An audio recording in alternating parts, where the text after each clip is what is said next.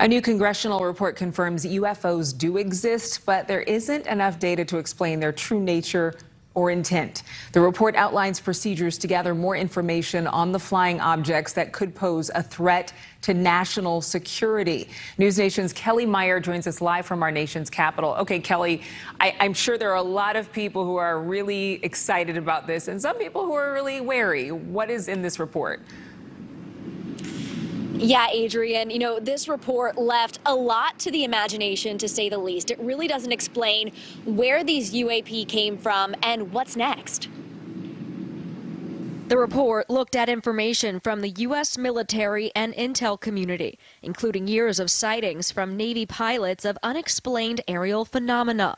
But the UAP task force said they didn't have enough to go on to draw a firm conclusion to rule anything in or out. Among the findings, there were 18 incidents of unusual movement patterns or flight characteristics.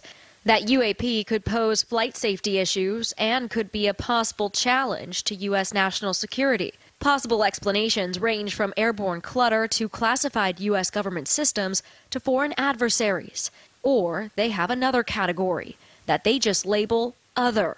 That just can't explain what the objects are. NASA administrator and former astronaut Bill Nelson says, quote, we do not know what this phenomena is. I talked to the pilots and they were very clear that they saw something.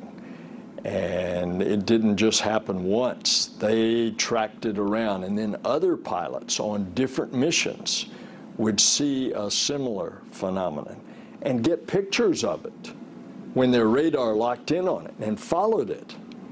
Uh, but it was something that uh, you could not uh, explain. And top lawmakers on the Senate Intel Committee say this is really just the first step into finding out if this is a real national security threat. Adrian?